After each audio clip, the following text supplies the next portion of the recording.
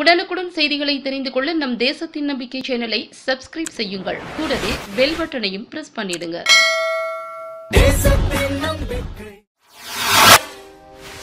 விருத்தாசலம் சுற்றுவட்டார பகுதியில் கனமழை காரணமாக பத்துக்கும் மேற்பட்ட குடிசை வீடுகள் இடிந்து விழுந்தன. பாதிக்கப்பட்ட மக்களுக்கு ஏகே சமூக நல அறக்கட்டளை நிறுவனர் நிவாரண உதவிகள் வழங்கினார்.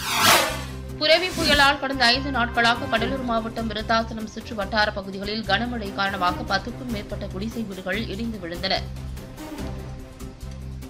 இதனை அறிந்த ஏகே சமூக நல அறக்கட்டளை நிறுவனர் வழக்கறிஞர் அகிலன் மழை நீரால் சூழப்பட்ட இடிந்த வீடுகளை பார்வையிட்டு பாதிக்கப்பட்ட மக்களை சந்தித்து அவர்களுக்கு தேவையான நிவாரண உதவிகளை வழங்கினார்.